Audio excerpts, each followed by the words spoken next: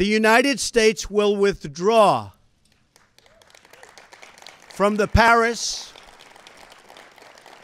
Climate Accord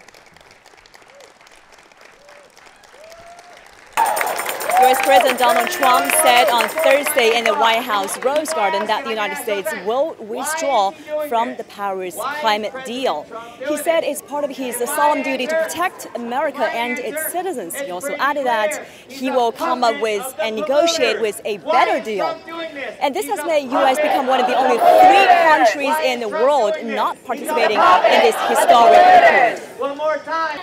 Just hours after Donald Trump announced in the White House that the United States will withdraw from the Paris climate deal, hundreds of protesters, almost a thousand, have gathered in front of the White House protesting about the move. They said they don't believe that the president will come up and negotiate with a better deal, and they also worry about the future of the climate change.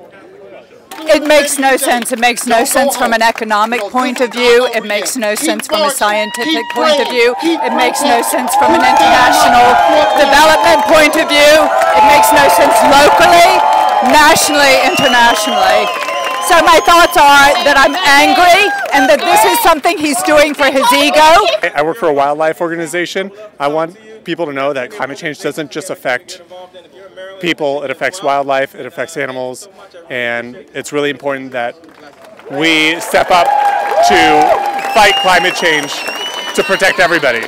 I have no faith in Donald Trump's ability to make a deal whatsoever definitely not in the realm of climate change. Exit from the Paris climate deal has raised doubts about the world's largest economic commitment to fighting and curbing global warming, and it has also made more difficult for other countries to hold them to their fight against global warming.